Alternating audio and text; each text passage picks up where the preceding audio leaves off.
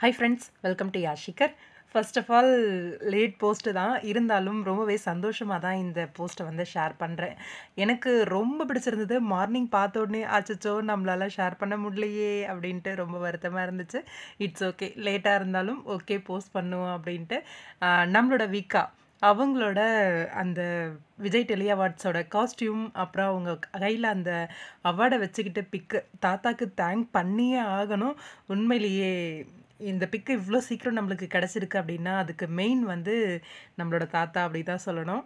பயங்கரமான ஒரு காஸ்டியூம்ங்க நம்ம விஜய்க்கு அப்படியே டிரான்ஸ்பரண்ட்டாக அவரோட அந்த பாடி ஸ்ட்ரக்சர் தெரிகிற மாதிரி அந்த டிசைன் பண்ணியிருக்காங்க அந்த ஷர்ட்டை அதுக்கேற்ற மாதிரியே அந்த அவுட்ஃபிட் அந்த கோட்டும் வந்து அவ்வளோ சூப்பராக இருக்குது அந்த கோட்டுக்கு மேட்சாக அந்த ஷூவும் பயங்கரமாக இருந்தது அவரோட காஸ்டியூம் பார்க்கறதுக்கே அதே மாதிரி ஈக்குவலாக நம்ம காவேரியும் கூட.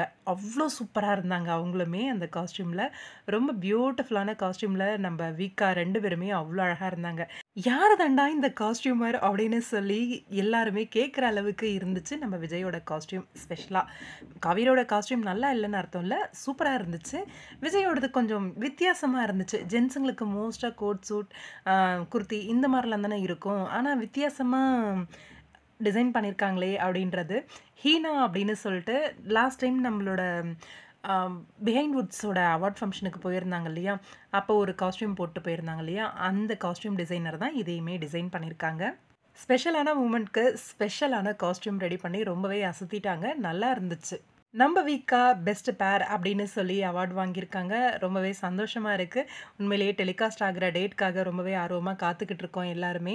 ஒன்ஸ் அகைன் நம்மளோட வீக்காவுக்கு மனமார்ந்த வாழ்த்துக்கள்.